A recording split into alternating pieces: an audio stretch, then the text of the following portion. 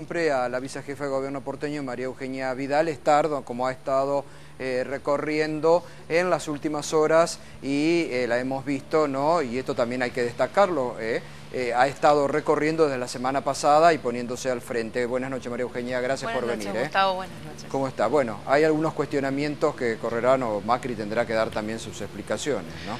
No, en primer lugar poner en contexto qué es lo que estamos discutiendo hoy, ¿no? Si estamos discutiendo la licencia del jefe de gobierno, más allá de que puedo contestar cada uno de esos casos, pero me parece que hoy lo que urge es ver cómo ayudamos a la gente que está en Montepastro sin luz. De hecho, acabo de pedirle a los equipos que vayan a ver a esta señora electrodependiente. Sí, además eso íbamos a comentar justamente, ¿no? A ver si, porque estabas viendo María porque, la imagen, y, es, un, es un ejemplo eh, válido para también comunicarlo al resto de las personas. Aquellas personas electrodependientes que hoy estén sin luz, eh, en el caso de que no podamos proveerle un grupo electrógeno, porque la ciudad tiene todos sus grupos electrógenos funcionando hoy en, en lugares sin luz, eh, podemos trasladarlo a un hospital público, están todos los hospitales en alerta roja, hay camas y puede quedarse allí hasta que recupere la luz en sus domicilios. Así que ya, pedimos un equipo para, para esta señora.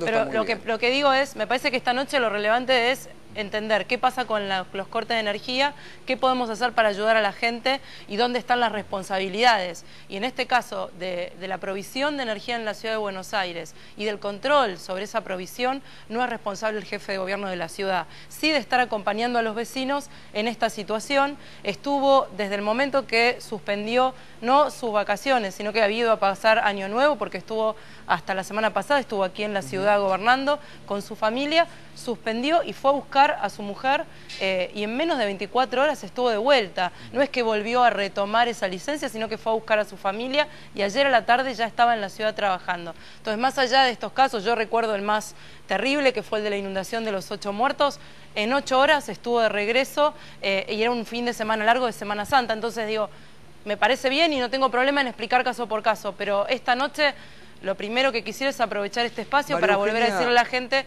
que llame al 108 y que vamos a, seguir asistiéndola como de hecho hemos venido haciendo estos días. ¿Cuántos usuarios todavía de los relevamientos que están realizando hay sin luz en el ámbito de la ciudad de Buenos Yo tuve contacto hoy esta tarde con la empresa de Sur y en lo que refiere a Sur, que ha sido como la empresa con mayor número de cortes, hay alrededor de 500 cortes. Un corte puede ser un edificio entero.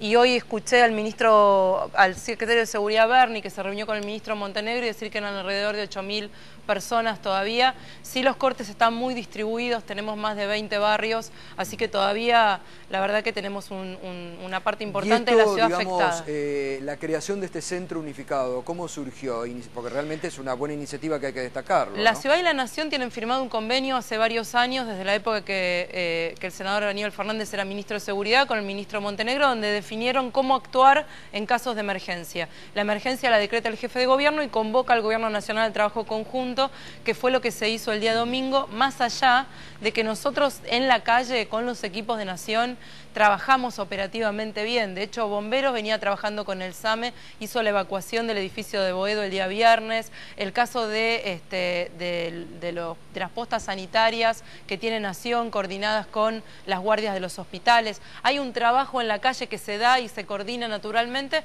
pero bueno, a partir de la, conformación del comité se puede coordinar mucho mejor. Eh, ¿A cuántas personas se le está dando asistencia en este momento? Digamos, lo que Nosotros hemos recibido, hasta hace una hora, tenemos alrededor de 4.000 pedidos de ayuda, los cuales se han evacuado, debe quedar un 30% por responder, pero se han evacuado y se han este, respondido a todos. Y bueno, como decía antes, no le podemos devolver la luz a la gente, pero sí nuestro objetivo es hacer atención social, evacuación, en los casos que no tengan casas de amigos o familiares a dónde volver, los llevamos a centros de evacuados que hemos montado, uno especializado en adultos mayores, atención sanitaria con el SAME que ha tenido un récord de auxilios, estamos arriba de los 1.100 auxilios diarios, un récord para esta época por el tema de los golpes de calor, más estas postas sanitarias de Nación, más las de Ciudad que están en funcionamiento y la distribución de agua. Llevamos más de medio millón de litros de agua distribuidos en domicilios para paliar un poco esta situación. ¿Por qué no inició una acción eh, civil, una acción de clase, como se hizo en su momento desde la Defensoría del, Pueblo contra las eh, distribuidoras eléctricas, el gobierno de la ciudad ahora? Yo distingo en esto, Alejandro, muy bien dos etapas. Hay una etapa que es la etapa de la crisis, donde uno tiene que asistir a la gente, porque la verdad que cuando uno hace una acción judicial, los tiempos sabemos que son largos. Eh, con lo cual, todo lo que se haya que evaluar, yo lo evalúo cuando ya el último porteño haya tenido restablecida la luz. Eh, más allá de que entiendo que aquí eh, inmediatamente, por supuesto, las empresas operan el servicio, pero también hay una responsabilidad en el control, ¿no? Y acá, evidentemente, hay un problema estructural de falta de inversión que habrá que analizar por qué durante todo este tiempo no hubo las inversiones necesarias. Ahora vamos a venir con eso, porque a mí me parece, como bien dice María Eugenia Vidal, que hoy hay que asistir a la gente, ¿no? El debate político hay que darlo, pero me parece que es la etapa que se viene. María Eugenia, porque vos recién, cuando llegaste a los estudios, veías la imagen de esa persona, te volviste a comunicar, ahí la tenemos en línea. Aurora... Aurora, ¿me está escuchando? acá te escucho. Sí, buenas noches. Sí, te escucho. Eh, aquí está presente la vicejefa de gobierno porteño, María Eugenia Vidal, que ha dado instrucciones para que vayan hasta el lugar donde usted está ahora y la asistan de inmediato. Yo vivo en López de Vega 2065, primer piso, departamento 4. Bueno, acá está, usted puede hablar porque eh, ha dado instrucciones la vicejefa de gobierno para que puedan asistirla en forma inmediata. Eh, la puede, puede hablar con ella. ¿Qué es lo que necesitaría usted en este momento, al margen de que necesita que le restablezcan la luz? Digo, pero la pueden trasladar... Amor, amor, yo lo que necesito es luz, mi vida. Sí, ah, por eso, Aurora... yo vengo y te muestro, le muestro. Si quieren venir a grabarme a mi casa, les muestro mi heladera. Está vacía no tengo agua, no tengo nada. ¿Para qué lo voy a tener si es una heladera vacía que no enfría? Aurora. Escúchame, no tengo, no tengo eh, corriente. Aurora. yo soy electrodependiente, quiero que me entiendas. Pero por eso, Aurora, a ver, por eso todos necesitamos. Después de cinco días me es difícil escucharte. No, por eso entendemos, pero estamos tratando de ayudarla justamente en lo que usted necesita. Va a ir una asistencia ahora del gobierno de la ciudad, del SAME, para ver si usted incluso necesita un traslado a un lugar donde puedan incluso asistirla para que se le haga, Aurora. Le estamos brindando esa posibilidad porque como medio de comunicación también podemos hacer el vínculo con las autoridades. Obvio, desde hace 10 días que estamos indicando que lo lógico es que las empresas restablezcan de forma inmediata frente al problema que usted tiene, que realmente yo decía es angustiante, queremos ver si le podemos dar una mano en forma rápida. Por eso van a ir a asistirla ahora, Aurora, quédese tranquila. Perfecto. ¿Eh? Yo te acabo de dar mi dirección y si querés te la vuelvo a rectificar. Ahí, ahí Yo ahora, despacito, voy a ir para mi casa. Mi casa es Lope de Vega 2065, primero 4 grita porque no es no, no hay timbre, no hay luz. Aurora. ¿Eh? La que venga que grite. Y yo lo voy a escuchar. Ahí van a ir ahora para ver qué tipo de asistencia sanitaria se le puede brindar, Aurora. Bueno, yo lo que necesito, te cuento, yo seguir conectándome a mi electrodependiente que tengo una mochila para eso. Esta es solo temporaria. Está bien, perfecto. Bueno, eh, le hemos hecho el puente, Aurora, así que ahora a su casa va a asistir seguramente eh, personal del SAME y para acompañarla y ver realmente en qué condiciones se le puede asisir. ¿Sabe? Yo quiero que lo que me restablezcan es la luz para tener yo en mi calidad de vida con mi concentrador eléctrico. Tiene toda la para razón. Para eso soy electrodependiente, eh, para eso soy electrodependiente, pago todos mis impuestos y realmente lo que quiero es eso. Seguro. Y el, el derecho básico, para eso paga la luz, para que tenga asistida. Pero bueno, lamentablemente... A pesar de ser electrodependiente la pago. Por eso. Mira, que tendría que tenerla por, por ser con una discapacidad. Y la pago igual. Bueno, eh, mientras el alumno vuelve vamos a tratar entonces de que eh, se le pueda asistir eh, a través, para darle lo que usted necesita en este momento. Aurora, gracias, gracias. quédese en su casa. Bueno, dale. Voy bueno. despacito. Chao, hasta luego, gracias. Hasta luego, hasta luego. Bueno, ya está, digamos, en camino, ¿no? ya estamos. Los lugares de, máxima concentración de cortes en la ciudad se están dando en los lugares más densamente poblados y especialmente donde se dio el boom de la construcción durante el macrismo. Nosotros todo el tiempo le estamos cuestionando al gobierno nacional no haber previsto, no haber planificado la necesaria, eh, el necesario abastecimiento de energía al país, para un país que creció, que ganó en un montón de sentidos. En la ciudad se construyeron en 10 años 20 millones de metros cuadrados. ¿Está bien que el PRO siga alentando, el gobierno de la ciudad siga alentando ese boom inmobiliario, torres y más torres con amenities que después no se pueden alimentar? El primer dato a tener en cuenta es que en los últimos dos años los permisos de construcción en la ciudad cayeron 40%. Por el, sector de, el, sector de el sector construcción no está invirtiendo en la ciudad. Más allá de eso, no coincido con tu diagnóstico que los cortes se hayan dado únicamente en esos sectores. Tenemos cortes en Soldati, en Lugano, en Flores, en, no solo en Caballito, Palermo, que son sectores de gran desarrollo. son más de 20 barrios, la ciudad tiene 40, eh, más de 40, tenemos más de la mitad de la ciudad, con lo cual no coincido tanto con este diagnóstico de que solo se han dado, digo, lo podemos estudiar, digo, la verdad que yo no coincido con ese diagnóstico. Eh, más allá de que no hay un aliento, acá hay una normativa en la ciudad. El que cumple con la normativa de la ciudad es el que puede construir y, la, y el Poder Ejecutivo tiene que eh, respetar esa normativa para otorgar los permisos. En la legislatura de la ciudad pero no tiene mayoría. Si la oposición considera que esa normativa tiene que ser más restrictiva, bueno, entonces tiene los votos suficientes como para poder modificarla. Ahora, perdón, eh, Ale, ¿ustedes consideran que reaccionaron a tiempo? Digo, pasaron creo que 12 días, ustedes reaccionaron bien, sábado, domingo, volvió Macri, lo que charlábamos antes, dio la conferencia, vos estabas, estaba Montenegro, hoy trabajaron muy bien, lo vi a Montenegro trabajar en conjunto con Bernie, el despliegue, entregaron agua. ¿No pasó mucho tiempo entre estos días y cuando empezó la ola de calor, que fue hace como 12? la ola de calor, precisamente por los meteorólogos, dicen que empezó el día 22 de diciembre. Del día 22 hasta el jueves pasado, que se inició el operativo de distribución de agua y centros de evacuados, bueno, la segunda etapa de medidas, ya habíamos tomado dos medidas centrales que eran los refuerzos de SAME y el declarar alerta roja en todos los hospitales de la ciudad, eso ya funcionaba desde el día 22 y la distribución de los más de 100 grupos electrógenos que tiene la ciudad en hospitales que tuvieron varios cortes de luz, pacientes electrodependientes que se pudieron contactar con nosotros y geriátricos. Hemos asistido a más de 60 geriátricos desde el 22 de diciembre. Tal vez esas medidas no se comunicaron, pero sí se, se hicieron efectivas. A partir del jueves pasado se suma la distribución de agua eh, a través de la línea 108 para adultos mayores. Los camiones cisternas ya se estaban distribuyendo, sobre todo en las villas de emergencia, en las zonas más precarias. Se suma el agua envasada para adultos mayores, se suman los centros de evacuados y se suman los polideportivos y parques para bañarse. Esto porque ya veíamos que ya veníamos con cuatro o cinco días acumulados de corte en algunos lugares de la ciudad. Y el sábado, se, da, se declara la emergencia formalmente porque se cumple de acuerdo a la ley dos requisitos, que ya venían varios días de crisis, de ola de calor y cortes, y que si además se, prevían cuatro o cinco días más. Y en ese contexto es que declaramos la emergencia. Ahora, María Eugenia, digamos, lo que se viene para el debate que hay que dar, porque obviamente hay una responsabilidad primaria de las empresas, pero como lo venimos diciendo, desde hace ya varios días acá, hay responsabilidades del gobierno nacional que no ha controlado a estas empresas, se sabía, incluso hay veedores del gobierno en Edesur, hay directores del gobierno en Edenor, el ENRE que ha brillado por su ausencia. Digo, ¿ahora cómo sigue? Porque, digamos, Capitanich la semana pasada dijo, bueno, una posibilidad es que el gobierno de la ciudad o la provincia de Buenos Aires se hagan cargo. Digo, ¿sirve esto en el medio de esta crisis?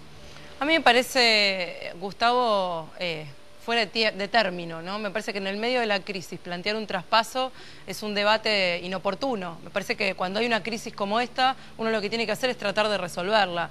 Nosotros no hemos tenido una propuesta concreta, por escrito, detallada, con lo cual no sabemos muy bien qué significa eso. Eh, estamos dispuestos a discutir esto, pero cuando el último porteño tenga eh, restablecida la energía. ¿El proyecto de ley de Macri para que haya generadores en todos los edificios no fue inoportuno cuando lo planteó la semana pasada? Ya había cortes. Él lo planteó para los edificios nuevos y, por supuesto, el proyecto fue enviado a la legislatura, con lo cual puede tratarse en cualquier momento. ¿Es una solución eso? Yo creo que para los edificios nuevos hay un contexto más general de discusión que no estamos dando, que yo tampoco creo que es para hoy, sino es para el día siguiente, y es que la energía no es un recurso infinito como ha pretendido instalar el gobierno nacional. La energía es un recurso escaso un montón de ruido que, además afecta, que además afecta al medio ambiente.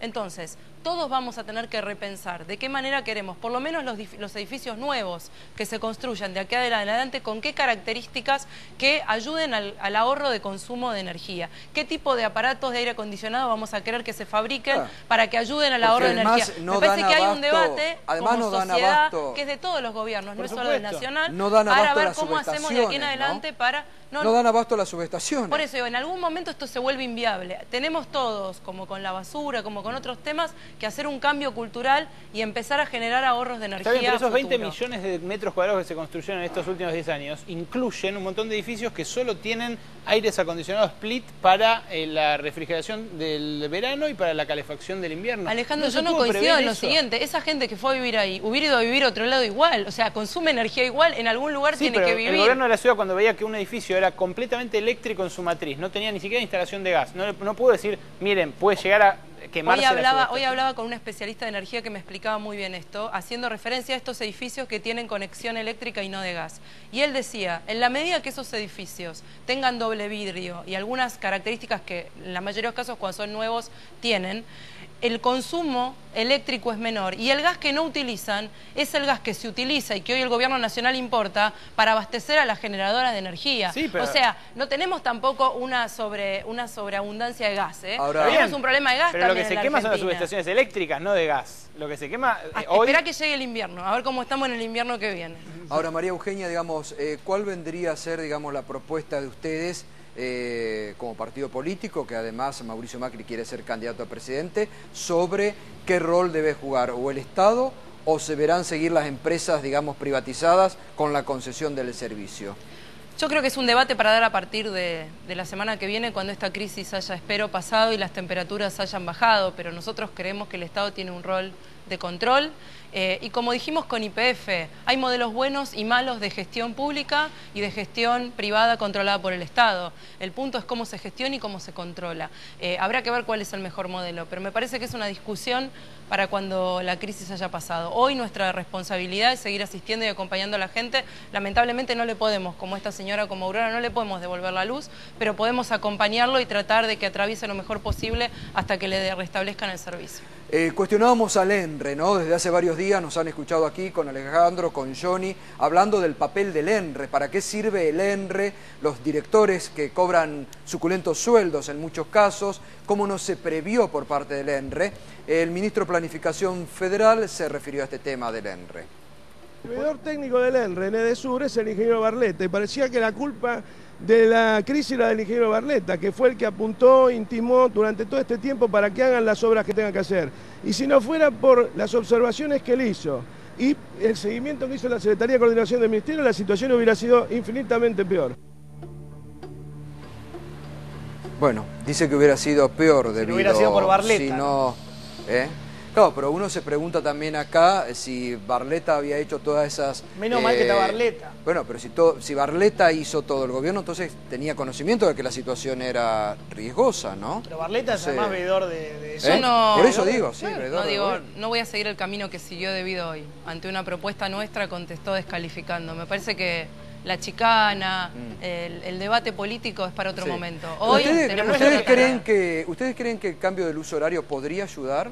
Consultamos con algunos especialistas que coinciden con nosotros que sí, de hecho Uruguay lo hizo. Creemos que no para toda la Argentina porque hay diferencias por zona, pero que puede considerarse para la zona este. La diputada Patricia Ulrich estuvo trabajando el proyecto, lo va a presentar en el Congreso, así que eh, seguramente lo vamos a presentar. ¿De la capital, de Santa Fe? Del eje este que abarca Córdoba, Santa Fe, la ciudad de Buenos Aires. En principio Uruguay lo hizo una hora, pero los detalles del proyecto técnico los tiene Patricia, que es la que estuvo trabajando en el tema. Desde que, volvió, este desde que volvió Macri de buscar a, la familia, en todo caso, de Villa de la Costura. ¿Pudo hablar con él? Estuve con él esta mañana, estuvimos en el comité de emergencia, estuve a la tarde recorriendo la base SAME, estuvimos en un geriátrico. ¿Le ofreció plata al fotógrafo o no? A mí me parece un disparate. Yo lo digo de verdad. ¿Pero ¿eh? lo desmienten? Pero yo no puedo creer, digo, de verdad digo, me parece un disparate que estemos. Yo no puedo creer. Mauricio Macri tiene contacto con los medios, no de ahora que es jefe de gobierno. Debe tener, no sé, 20 años de contacto con los medios. Johnny, ¿no Cuando era presidente de Boca, que no salga la foto? Digo, la verdad que yo no sé, digo, no escuché al fotógrafo, no sé lo que dijo. Pero de ya que me parece un disparate. Hemos discutido cuántas horas tardó el jefe de gobierno en volver de Villa Angostura. ¿Qué dice el fotógrafo de la fotografía que le sacó en Bariloche? No, pero lo que estamos discutiendo no es eso. Lo que estamos discutiendo es la ausencia de Macri en momentos clave en la ciudad de Buenos Aires. La foto, no la foto, eso son chicanas menores. La, la cuestión de fondo es qué pasa, que siempre que pasa algo fuerte en la ciudad de Buenos Aires, Macri no está. A mí me parece que cuando uno gobierna, eh, primero en muchas ocasiones de las que mostraste, digo, un jefe de gobierno también tiene, nosotros participamos en no menos de cuatro organizaciones de ciudades. Y esa participación no es para viajar, esa participación nos ha permitido, entre otras cosas, trabajar con San Pablo y el Distrito Federal en, en el cambio climático. Nosotros venimos hablando de estos problemas de olas de calor, de fuertes temporales, hemos sido destacados en distintas ciudades del mundo por lo que hemos hecho con el Metrobús. Entonces, en principio hay viajes que son oficiales y donde tiene que ir el jefe de gobierno y no puede ir un ministro. Entonces, en algunas situaciones estaba en viaje oficial y en otras, en general, coincidieron con feriados largos. Hoy justamente hablábamos.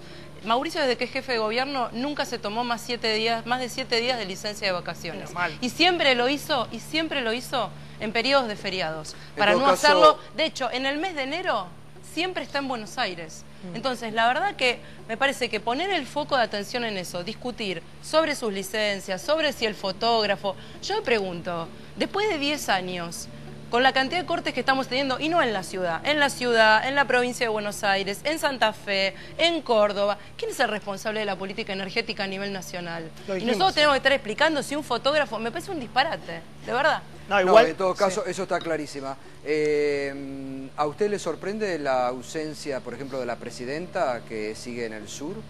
Sí, me sorprende. Ya lo dije esta mañana. Yo creo que todos esperábamos que la presidenta... Me parece que cuando hay un sector de la población que está angustiado, que se siente desamparado, la palabra del presidente siempre es la que uno espera, ¿no? Y al margen de lo que le preguntaban Berkovich y Johnny, digo, eh, frente a la ausencia de Macri, ¿algo se dejó sin hacer en la ciudad o estando usted al cargo se pudo hacer toda esta tarea de planificación que Primero que durante las pocas horas que estuvo afuera estuvo permanente contacto conmigo. Nada de lo que se hizo eh, se hizo sin hablar con él y sin que en algunos casos él diera instrucciones precisas sobre algunas medidas. con lo cual estaba siempre en tema y todo lo que... Somos un equipo, esta es otra cuestión, ¿no?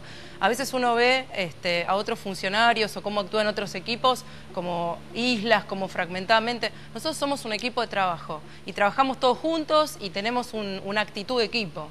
María Eugenia, reiteramos, la gente que todavía está en situación de riesgo, ¿se puede comunicar a Que por favor se comunique a la línea 108 que está 24 horas funcionando, en este momento estamos para atenderlos y si tiene una emergencia médica, como siempre al SAMI al 107 para que podamos asistirlos. María Eugenia, como siempre, gracias. Gracias, ¿eh? gracias por prestarte al debate, a dar la cara como siempre y a estar aquí. ¿eh? Muchas gracias. Gracias a ustedes. Y reiteramos entonces para la gente que está en Monte Castro que va a ir la... Bárbaro, muchas gracias. ¿eh? Gracias. Volvemos a ese lugar con Carlos Istrioni. Carlos. Ah, perdón, Pablo Rendich está en Corrientes y Pueyrredón. Vamos, Pablo. Gustavo.